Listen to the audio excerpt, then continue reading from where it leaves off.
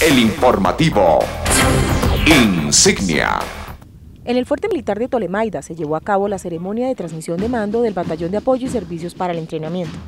El nuevo comandante, el teniente coronel Joselín Vargas, tiene la responsabilidad de liderar los hombres y mujeres que bajo su mando trabajan sin descanso por garantizarle a las tropas los distintos apoyos logísticos necesarios para el cumplimiento de la misión.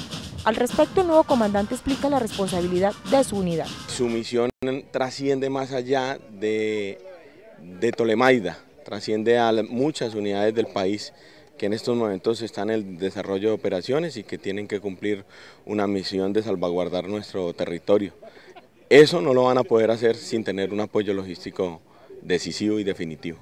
Así las cosas, es innegable el gran esfuerzo que deben realizar los integrantes del Batallón de Apoyo y Servicios para el Entrenamiento, puesto que son los responsables de suministrar de manera oportuna todos los soportes relacionados con armamento, intendencia y transportes, entre otros. El informativo Insignia.